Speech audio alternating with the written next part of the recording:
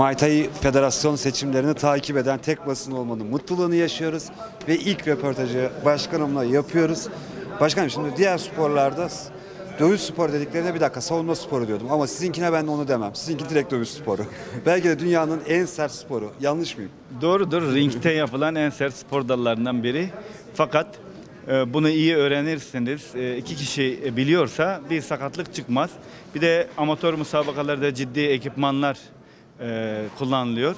Ama profesyonel müsabakalar çok sert gibi görünüyor ama ikisi de profesyonel olacak olduğu için e, aslında çok ciddi bir sorun olmuyor. Yani bir gün beklenen e, atak, beklenen savunma olduğu için e, kişiler bu işi bildiği için herhangi bir yaralanma olmuyor. Yani bir futboldaki kadar bile yaralanma yok. Başkanım şimdi iki, sizin ismen hep biliyorum ama tanışmak nasip olmamıştı ama bir Google'dan bir arattığımda 2000'li yıllardan beri bu sporun içerisinde olan yöneticilik yapan birisiniz. Evet. Ee, bugün başkan oluyorsunuz. Camiada sizi açık ara neredeyse 3-4 kat oy farkıyla başkan Öncelikle e, camiaya yani Muay Thai ailesine teşekkür ediyorum. E, ben 19 yıl önce bu Muay Thai Federasyonu Gençlik ve Spor Bakanlığı'na müracaat edip e, önce spor dalı daha sonra federasyon olmasına sebep olanlardan biriyim. Yani o, o dönemin lideriydim. Fakat bugüne kadar e, Federasyon Başkanım Halil Durna'yla beraber çalıştık. Ben onun yardımcılığını yaptım. Ama bugün e, ilk defa federasyon başkanı olarak e, aday oldum ve seçildim. Bu benim için e, çok önemli bir dönüm noktası. Çünkü birinci adam olmakla e, ikinci adam olmak arasında 10 derece fark var. Evet. Dolayısıyla şimdi biraz daha e, sorumluluğu üstümüze alacağız. E, daha hızlı hareket edeceğiz. Daha hızlı kararlar alacağız. Daha çok e, bürokraside kurumlarla görüşeceğiz. Muay Thai'yi 2-3 kat daha büyütmek için bir iddiayla yola çıktık. Allah izin verirse e, bu dönemde e, değişikliği yani bu dönemin bittiği zaman insanlar e, bizim ne kadar çalıştığımızı ve ne kadar büyüdüğümüzü görmüş olacak. Şimdi Halil Başkanım kendim adaylıktan çekildi yoksa siz ben artık aday olunca olacağım Yok deyince- kesinlikle Halil Başkanımla ben e, 3-4 ay önce önce e, konuştum. Eğer aday olacaksan ben kesinlikle böyle bir şey düşünmem. E, 30 yıl daha da yapsa bu görevi ben başkan adayı olmam. Dedim ki eğer siz aday olmayı düşünüyorsanız e, devam edelim. Eğer olmayacaksanız e, bir çözüm bulalım. O dedi ki e, Hasan ya sen ol ya da birini bulalım. Ben dedim ki ben başka biriyle çalışamam. Kendim aday olayım ve e, bugün gerçekleştirmek istediğim birçok daha proje var. E, olimpikleştirme projesi var. Muay Thai e, kurumsallaştırma ve e, kurumların içerisinde okullarda, üniversitelerde spor dalı yapma e, e, temennimiz var. Onunla ilgili projemiz var. Süper Lig projemiz var. Profesyonel şube kurma projemiz var.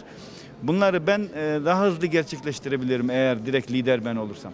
Allah Salim Başkanım da buradaydı kickboksta. O da sizin yanınızdaydı. O da desteğini verdi. E, Salim, Beraberdiniz. Salim Başkan'la dostluğumuzun bir sebebi de ben e, Kickbox Federasyonu 1994'te kurulduğundan 2000 yılına kadar hep milli takımda sporcu olarak yarıştım. Avrupa Şampiyonası'na, Dünya Şampiyonası'na birçok uluslararası turnuvaya katıldım ve Avrupa Şampiyonası'nda da derecelerim var. Dünya Şampiyonası'nda çeyrek final oynamış bir adamım. Dolayısıyla o benim önceki dönemde genel koordinatörümdü. Daha sonra başkanım oldu. Ben o camianın içerisinden koparak Muay Thai Federasyonu'nu kurdurdum. E, Bugün e, Allah kısmet etti. Ben de e, federasyon başkanı oldum ama Salim Başkan bana göre bir 15-20 sene önce başkanlığa başladı. Ama orası zaten daha ilerledi. Şimdi kürsüde ne vaat ettiniz? Kulüpler neyi bekliyorlar sizden? Kulüp 3 sene sonra, 2,5-3 sene sonra mikrofonu Aslında istiyorlar. kürsüde e, diğer arkadaşlar işi ekonomiye dayandırdılar ama kulüplerin ekonomiyle bir sorunu yok. Bizim Muay Thai spor kulüplerinin çoğu salonlarında özel dersler vererek ya da gruplar çalıştırarak parayı bağımsız kazanabiliyorlar. Yani devlet desteği vesaire ihtiyaçları yok. Bir faaliyetlere katılacakları zaman belki sponsor desteği arıyorlar. Onu da yine de sporculardan bir şekilde tedarik edebiliyorlar. Burada kulüplerin en büyük e, talebi federasyonlardan adil, hukuk, milli takımların düzgün oluşturulması, antrenörlerin görevlendirilirken liyakate göre görevlendirilmesi. Yani sporcusu olan antrenörün çağrılması. Evet. Sporcusu olmayan, e, siyasetten baskı yapmış, bilmem birinin belediye başkanı, birinin milletvekili aradı. Sporcuyu milli takıma çağırın, e, antrenörü millete çağırın. Biz bunu yaptırtmadık, yaptırmayız. Geçmişte de yaptırmadık. Bizde sistem yarışma sonucuna göre milli takım oluşur. Milli takıma göre de antrenörler oluşur. Antrenörlerin yapısına göre de idareci görevlendirir başlarına ve milli takım o şekilde yurt dışına gider. Biz burada hukuku, adaleti oturtturduk. Sistemin şeffaflığını oturtturduk. Şampiyonlar Ligi kayıt e, görülebilir, denetlenebilir, izlenebilir bir hale getirdik. Bu yüzden insanlar bizden memnun. Normalde biz çok e, paralı olan bir federasyon değiliz. Bakanlığın belki en az bütçe alan federasyonlardan biriyiz. Ama insanlar bizden para beklemiyor. İnsanlar bizden organizasyon ve organizasyonda adalet bekliyor. Hakkaniyet bekliyor. Hakkaniyet, hukuk, e, kesinlikle e, haksızlık ya da e, merdiven altı işler istemiyor. Direkt web sitesine yayınlanabilir kararlar, görülebilir kararlar, denetlenebilir kararlar, kuralların e, bilgisayarla çekilmesi, yayınlanması, anında tüm e, gruplara atılması yani denetlenebilir, görülebilir olması gerekiyor. Valla ilk mikrofonu ben uzattım.